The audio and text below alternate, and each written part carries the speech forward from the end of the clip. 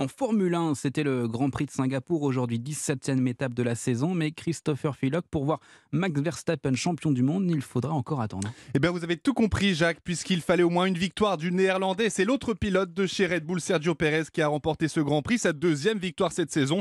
Il a mené la course de bout en bout et devance les deux Ferrari de Charles Leclerc et Carlos Sainz. En revanche, une course que Max Verstappen va tenter de vite oublier, puisqu'il termine à la septième place après bien des péripéties, euh, tout comme les pilotes Mercedes, Lewis Hamilton et George Russell respectivement 9 et 14e.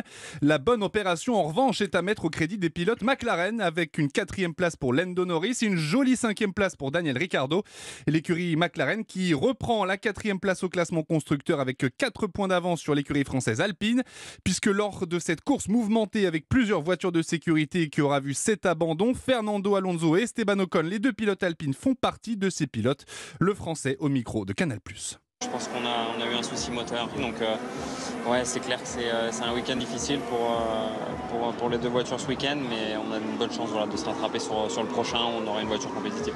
Et le prochain Grand Prix, ce sera au Japon dès le week-end prochain, avec peut-être cette fois-ci le sacre de Max Verstappen. Merci Christopher.